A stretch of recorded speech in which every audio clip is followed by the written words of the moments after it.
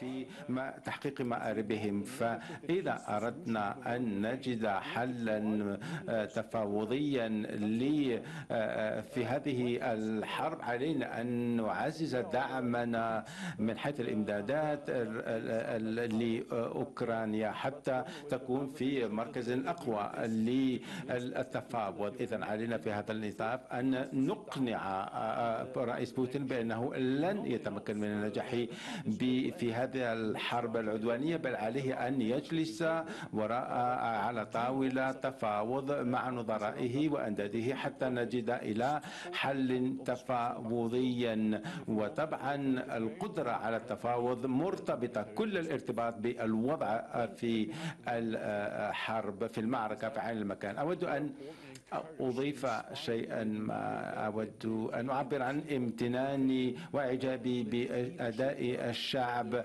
الأوكراني والقيادة والجيش الأوكراني. ومن المهم في هذا الإطار أن نستمر في دعمنا ولكن لا ينبغي أن أن نتقاعس وأن نقلل من أهمية الروس. فروسيا لا تزال قوية فهي هي تحول تستمر الآن في حشد وتعبئة الطاقات العسكرية والموارد. العسكرية من إيران ومن حلفائها الآخرين.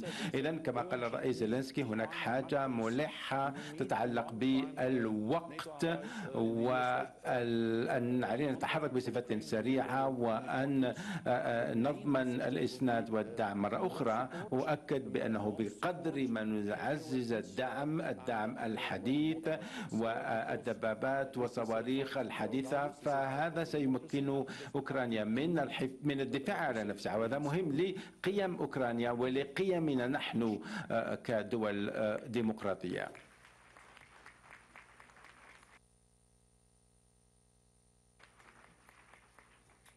Avril, you شكرا جزيلا. سيدة أبريل كنت الممثلة العليا للرئيس بايدن في هذا المنتدى.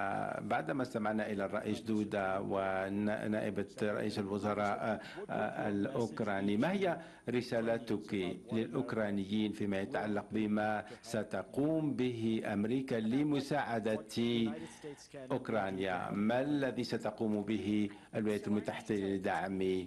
أنا بكل صراحة أشتغل في الاستخبارات الوطنية ولا أقحم نفسي في القضايا السياسية.